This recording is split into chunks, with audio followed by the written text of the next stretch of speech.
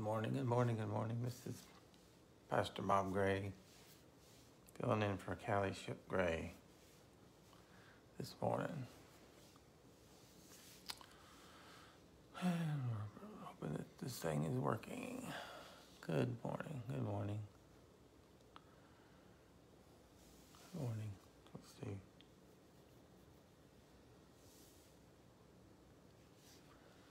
To give people time. There's somebody. Good morning. Wendy Spencer Smith. This is good morning. Susan Cockrell. Phil Morehouse. Darlene Jenkins. Good morning. Bryn, good morning. Irma. Filling in for Callie this morning. She's not feeling that well. So we're going to get started. Yesterday had a few technical difficulties because we left Callie's phone on the airplane when we got back in from um, Georgia. Couldn't find it. So we had to use mine, which I didn't know how to do. But today I'm doing better. So we got uh, the phone going. We're gonna we're gonna get into prayer. Um, start out with Psalm 139 and kind of be thankful and pray, thank God for Psalms 139, what he says about us. Psalms 139, verse 13, For you created my inmost being, you knit me together in my mother's womb. I praise you because I am fearfully and wonderfully made. Your works are wonderful, and I know that right full well. For my frame was not hidden from you when I was made in secret in the secret place, when I was woven together in the depths of the earth. Your eyes saw my unformed body, and all the days ordained for me were written in your book before one of them came to be. How precious to me are your thoughts, O God. How vast is the sum of them. So I want you, let, us take that word, let's take that and make a, a thanksgiving prayer.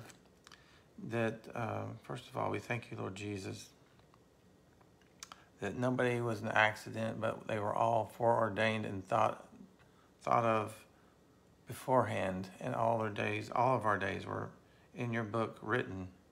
What we're supposed to be, what we're supposed to do.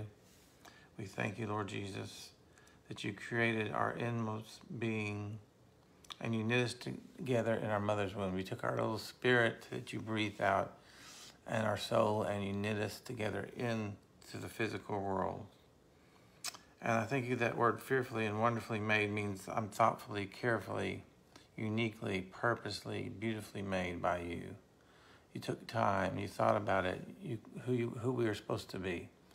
And you made us into something wonderful to you that you think about and you're concerned about. And I think, thank you, Lord, that that realization today is becoming um, something that brings happiness and joy to our hearts. We were not hidden from you. Our unformed body was already seen by you. So unformed body was seen by him.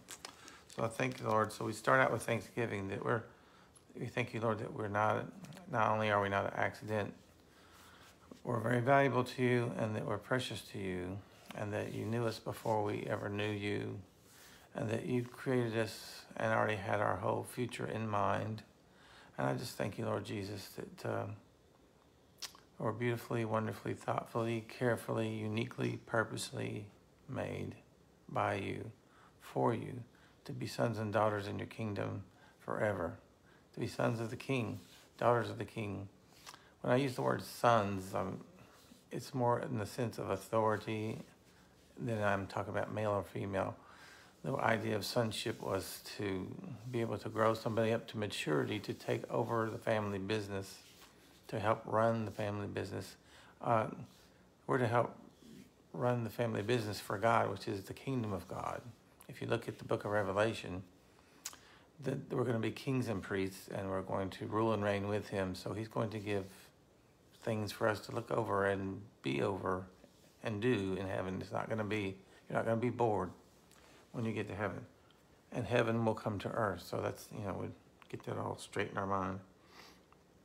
All right, let's uh, let's begin our prayer with. Um, always begin with clearing out any of the cobwebs of our mind.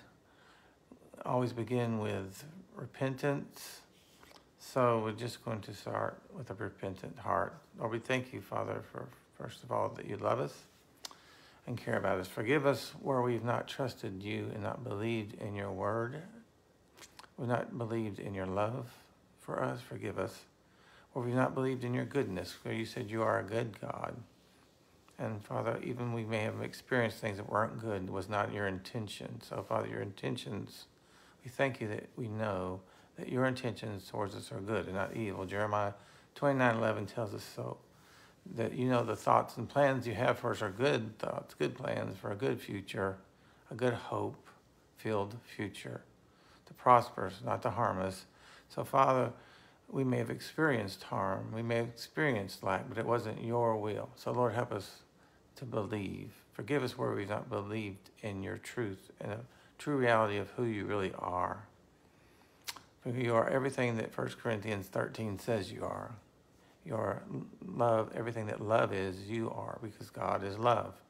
So, love is you are patient, you are kind, you are long suffering with us. You don't count our wrongs and hold them against us. You are not like um, our friends, are not like our enemies. You're not like our, even the person on their best day doesn't measure up to you. So we thank you, Lord Jesus. Your love never fails us, never becomes obsolete or, or quits believing in us. You believe and hope for the best always. So, Lord, we thank you for who you are. You're generous, giving, merciful, patient, and kind. And Lord, we just uh, ask for forgiveness where we've, we've not believed that or where we've lived as if that's not true. Help us to live in faith, live knowing that we're loved, live knowing that you uh, desire us to have good things, good gifts, that you're not just wanting to wait to give us those good things in heaven, but you want us to experience your goodness now. Father, help us to resist the lies of the enemy. Let, let help us to believe and pray with faith in your goodness, in your generosity, in your mercy and your forgiveness, and you're not holding grudges against us. You're not holding our sins against us. You've forgiven us and you forget forget them again. Never bring them up again. Thank you, Holy Spirit, for reminding us of those things. Making thank you, Holy Spirit, for making the Word of God become alive in our hearts and minds. Forgive us where we've not surrendered our self life yet, any area of our life that we still hold on to and try to rule and be king of when you are the king of every part. So forgive us, Father, any area of our life today where we've not surrendered our will to your will. Lord, we just uh, repent of that and we allow you to be king and ruler over everything. What is it you would want us to do today, Lord? That's what we're going to do. We're going to obey. We're going. To, your love language is is when we obey you and do your will. So, Lord, help us to do what uh, your love language is and in our obedience. So, Lord, help us that in that way. Forgive us where we've not uh, allowed you to be King and Lord of our lives. Holy Spirit, we ask also forgive us where we've not allowed you to whisper in our ear and do what you've told us to do. Forgive us where we've not allowed you to have every part of our being so that you can use, uh, we can be used by you to bring about your kingdom. So we ask, Holy Spirit, we just uh, offer ourselves our brand new, like Romans 12, 1 and 2 says, we offer ourselves as a living sacrifice, wholly acceptable unto you, which is our reasonable service of worship. So we offer our members of our body to you, Lord, the members of our body, our mind, our soul, everything we own. We just offer Holy Spirit to be uh, where you can infiltrate and use and speak through us and and whatever you want to do through us today. We'll, we may not be a, uh, in the gift or the uh, office of evangelist today, but, but you can come on in the spirit of evangelism and help us to speak to others about Jesus today. We may not be uh, operating always in the gift of healing, but you can come on us today in, in any point and somebody needs a healing touch that you can bring healing through us today. Uh, we may not be in the office of a prophet, but Lord, today if somebody needs a word from you, you feel free, Holy Spirit, to speak through us. We're just going to be uh, open and allow you to do what you want. So that's how we're starting our day today with uh, repentance of what we ha- haven't done right, but we're of believing for what we're going to do right today. What the Holy Spirit can do through us because we're willing. We just pray in your kingdom come, your true reality of heaven come to this earth as it is in heaven. Come, first of all, in our hearts and live the reality in my heart and mind of who you are and what you and what you can do and what we can do in you and who we are in relationship to you that we just pray that reality would become our reality today. In our heart in our homes become the king and we pray your reality becomes our reality in our homes today. In our churches we pray your kingdom come and your true reality become our reality in our churches the things that you want done will be done. And we're going to pray that in a minute. We're going to pray Isaiah 61. And uh, we're going to ask God's kingdom to manifest the way God wants it to. We pray for your kingdom to come in our and your reality to be become our reality in our town, in our homes, in our families, in our relatives. Your kingdom come, your will be done in in every state of America and United States of America. Your kingdom, your come, your will be done in this whole world. The whole world. You care about the whole world and you care about America. And Lord Jesus, we just pray your kingdom come, your will be done. Not anyone else's, but your will in Jesus' name. Uh, we, we repent for not only our sins, but the sins of our family, Lord because we can represent them, because we have authority in their life and we have relationships. We just pray not only for our sins, but the sins of our family. For there's none of us righteous, not one. We've all sinned, come short of the glory of God. But we have your righteousness that covers us. But we ask, Father, forgive us where we've messed up, where we've sinned, where we've rebelled, where we've not believed. And not only us, but our family members and those uh, that we know in our we just repent for them and we ask forgiveness for, and your mercy be upon us and your grace be upon us. And in the name of Jesus Christ, the King of Kings and Lord of Lords, we command all devils and demons and hindering spirits, anything that's not from God, to go from our hearts, our minds, our souls, anywhere that they're trying to lodge in there. We just command them to go in Jesus' name from our homes right now. In Jesus' name, we plead the blood of Jesus' body and blood, over the covenant of your blood we plead that over our homes. Let's get our um, communion while we're talking about that. We'll just put some physical connection to the prayer. Our communion is a very powerful thing. It's not just remembering the death of the Lord till he comes, it's also reinforcing the covenant. Every time we do this, we reinforce the truth of the covenant, which is the blood and the body of Jesus has purchased our forgiveness, our healing, our deliverance, our protection, our um, everything that we don't need, free from anxiety, fear, unbelief, everything that's not from God. He's delivered us from it. He's made us right with God through his body and through his blood. And when we plead the blood of Jesus, this is what we're talking about. We plead that the, the enforcement of the power of the blood of Jesus would become a reality in our lives.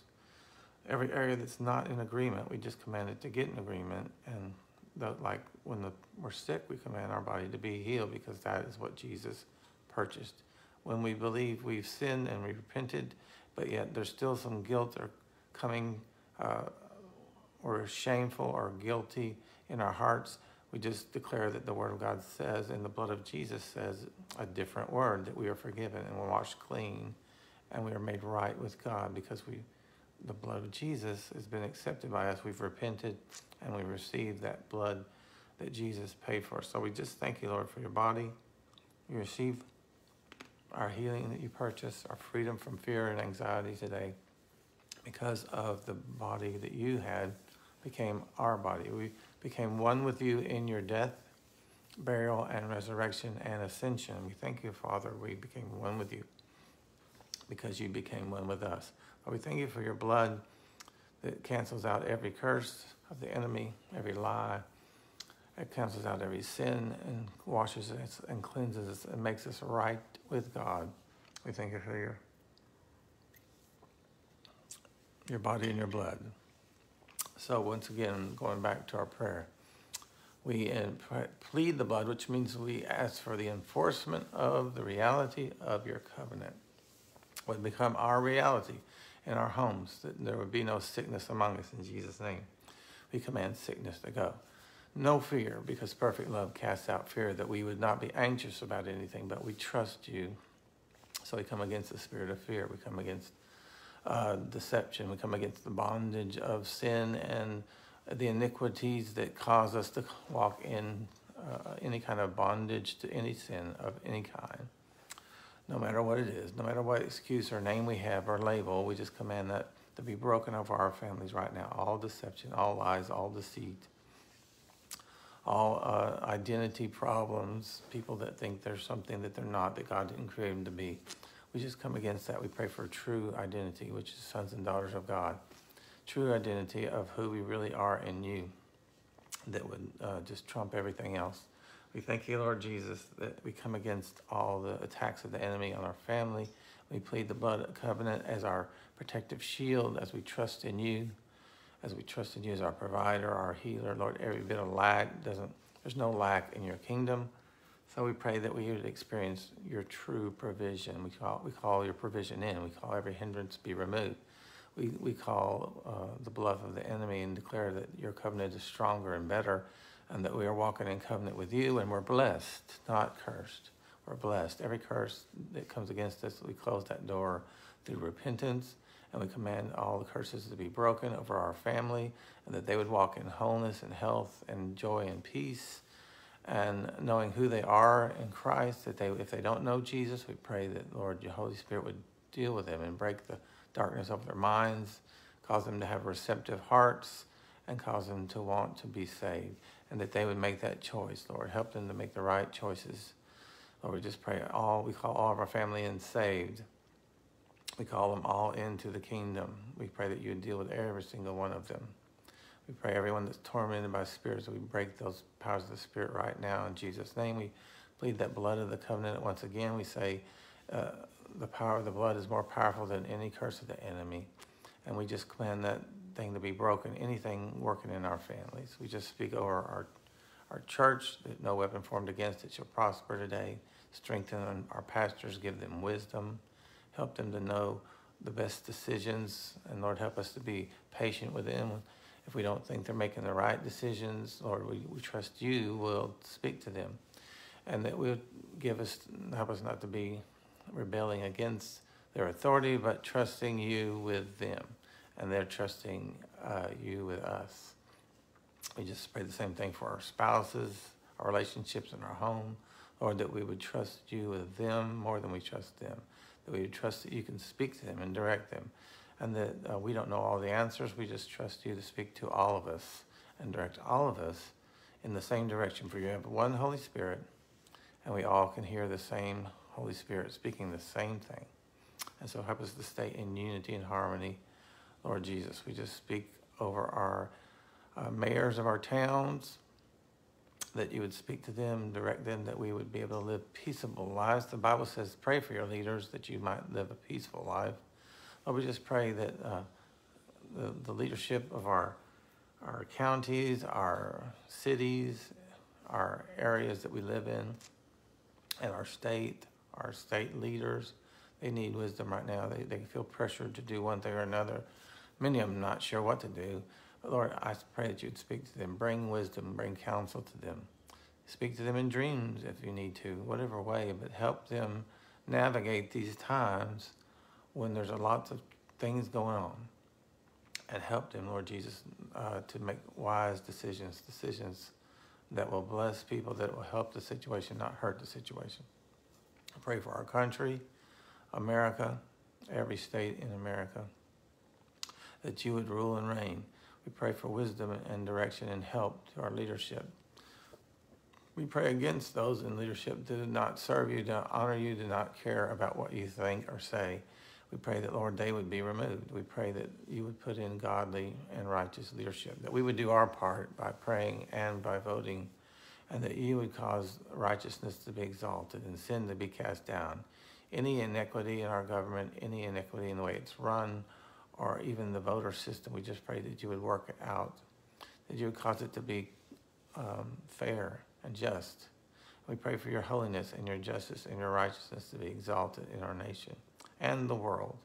We pray also, Lord, for those other countries where we've sent missionaries to other countries. You care about them as well. And Lord, your righteousness and justice be exalted in all this world. We pray your kingdom come in power and that your glory be revealed and that we be carriers of your presence. Lord, we are the new temple, the living temple, the tent not built with hands. We are your tent to be your to have your glory rest in us and on us, and your presence go with us today. We pray that you, wherever we go, will be atmosphere changers because where we go, you go. And where we go, your presence goes. We just want to go where you're going. Help us to follow your lead, follow the Holy Spirit, so that you can bless what we're doing and that you can be give us your favor because we are walking in your divine will today. Thank you, Jesus. We're going to read uh, Psalms 130, uh, well, yeah, sorry, Isaiah 61, and we're going to pray Isaiah 61. This is a good prayer because this was the what Jesus stood up in Luke 4:18 and read out of Isaiah, and basically he was saying, "This is this is my platform of what I'm going to do while I'm here." And uh, so this because it's his platform of what he was going to do and did do it's also our platform. So we're going to pray this once I read it really quick, then we're going to pray it. The Spirit of the Sovereign Lord is upon me because the Lord has anointed me to preach the good news to the poor. What's the good news? Your sins are forgiven. You were separated, but God has brought you near by the blood of Jesus. That's the good news. And now you can have eternal life with Him, and you don't have to live condemned. You don't have to live, and you don't have to go to hell. You can go to heaven it's your choice, but God's giving you a choice. It's a great choice to make. So he sent me to bind up the brokenhearted, to pro proclaim freedom for the captives, the release from the darkness for the prisoners, to proclaim the year of the Lord's favor and the day of vengeance for our God, to comfort all those who mourn, to prov provide for those who grieve in Zion, to bestow upon them a crown of beauty instead of ashes, oil of gladness instead of mourning, a garment of praise instead of spirit of heaviness or despair or depression, but instead a garment of praise. So this is what Jesus said, I've come to do. And so this is what we've come to do. So we're going to pray right now, Lord, that that be fulfilled as we walk in Christ walks in us today, that you will fulfill this scripture.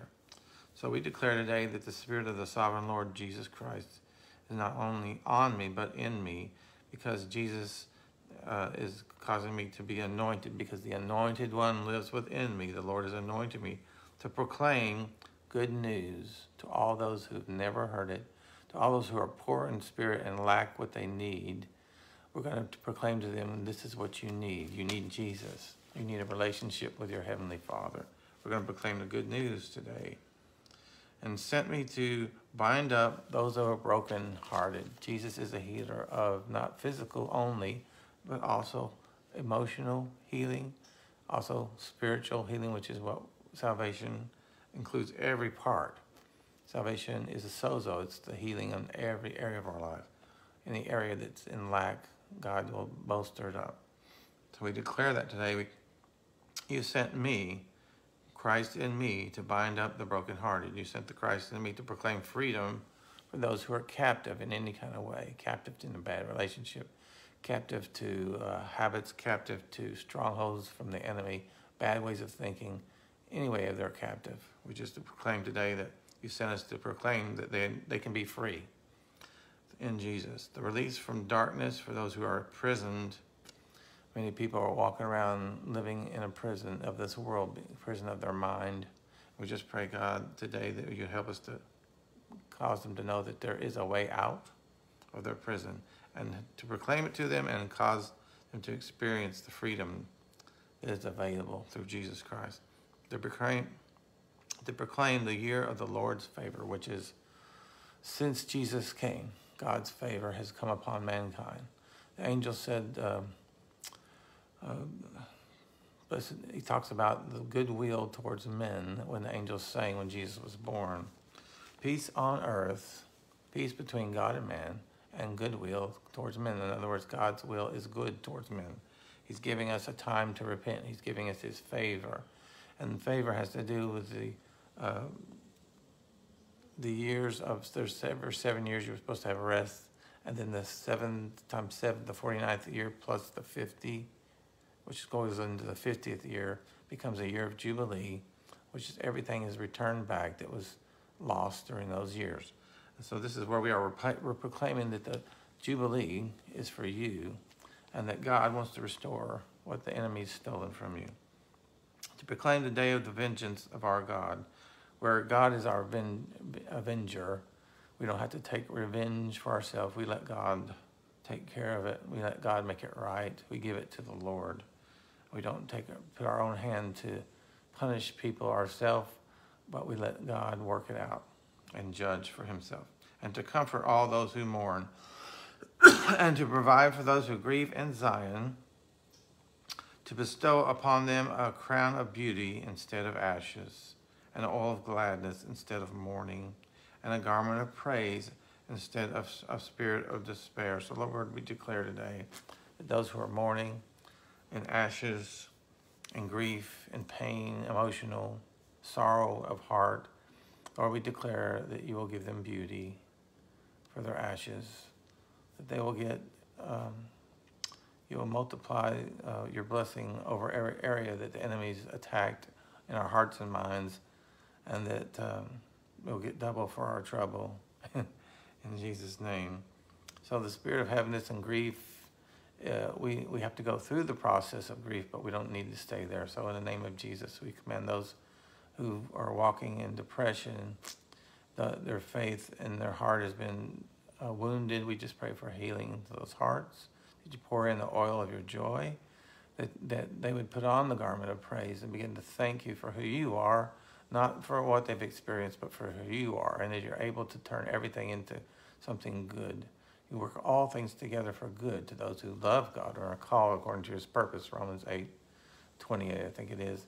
And Lord, we thank you, Jesus, that you are healing them and giving them beauty for their ashes.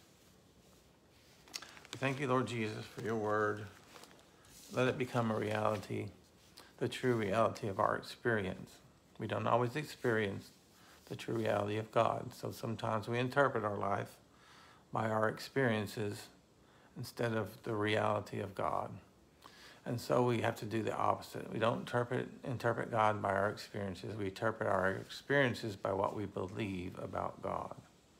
That Jesus is love and that he does have a good plan and purpose, but it doesn't always happen. His will is not always done. People choose not to do his will all the time and it affects our lives. It affects especially people in power and authority, affect our life by their disobedience or their rebellion against God. But it doesn't reflect on God Himself. God is still good. God still wants the best. God still loves justice and righteousness. God still cares about the poor and the needy. God has not changed. He's still generous. We may not have experienced all that. Doesn't change who He is. So, Father, help us not to interpret uh, you by our experiences, but instead interpret our experiences by who you are in your godly character. You are not uh, a man that you would lie. Whatever you say about yourself is true, even if we haven't experienced it yet. It doesn't change that you are loving, kind, patient, forgiving, merciful God, and that you are very wise and all powerful, and you know everything. You have all knowledge. And Lord, we can trust that that is true, whether we have experienced it all or not here on earth. In heaven, whatever uh, God is and says and does is the reality that you experience, and there's no interference. But this is not heaven. This is uh, like um, going through training ground to learn to trust and believe in God without always seeing the reality in our experience, but seeing the reality in our heart, in our mind. That is what faith is. Faith is seeing the reality before we actually experience the reality of it. It's a faith is believing in what we um, we uh, know and understand in our spirit, and our spirit revealing to our soul, and our soul uh, believing and expecting that to become our reality in our physical world. So we believe it, we see it in our heart before we experience it in our reality, and that's how faith works. So Lord, we just thank you that you are good and that you are care about everyone on this broadcast this morning and that you want them all to experience your goodness. But we begin to experience His goodness by believing in it first. So, Lord, we trust you. We, we expect good things from you today. We expect that you're going to provide for us. We expect you're going to take sickness from our body right now in Jesus' name. We command sickness to go. We expect your healing, your strength, your grace to be upon us to do whatever we've called you've called us to do today. We expect your goodness because we expect it and because we really believe it. We will experience your goodness today. We will experience your provision. We will experience healing in our bodies. We will experience newfound strength. We will experience your guidance and your wisdom being downloaded to our hearts and minds and making good decisions. We thank you, Lord, because we believe and we expect we will see what we believe. We thank you, Lord Jesus, for everyone that's been here today. We pray that they continue to pray for every area that you lead them to pray for. These um, Mothers of Zion, that they would pray for their areas of influence, every area that uh, in America that the women of God would come together in unity and harmony and their assignment be fulfilled. Nothing stopping them, nothing missing, nothing broken. Complete shalom today in Jesus' name. So keep praying for Callie. Callie, she doesn't feel well today. Yes, as for those who just came on later, we lost her phone at, in the airlines um, Monday, so we weren't able to do the broadcast. We had some, we had some um, Tuesday. We had some technical issues, me not knowing how to use my phone to do it, but today we got it working.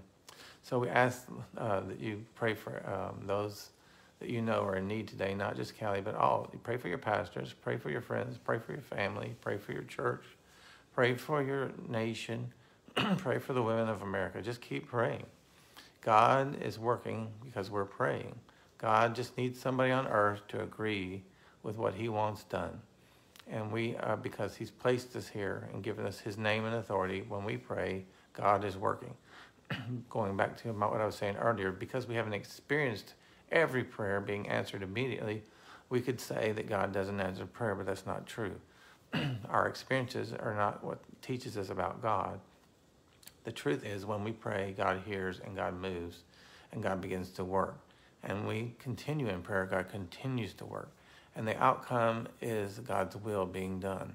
So, Lord, we thank you that our prayers do count and that we're going to keep praying and we're going to pray together, which is even more powerful. Because if one can put a thousand to flight, two can put 10,000 enemies to flight, what can we do with our group praying together? So we thank you, Lord Jesus, that there's power in prayer and that you are that power. But we agree there's power in agreement. And we thank you that your word never comes back empty or void, but always accomplishes everything that you sent it for. In this whole earth, you sent your word to heal them. So we declare your word is healing us today. We declare your truth, your word and your truth is becoming our true reality. Thank you, Lord Jesus. Keep praying, ladies. We'll see you tomorrow.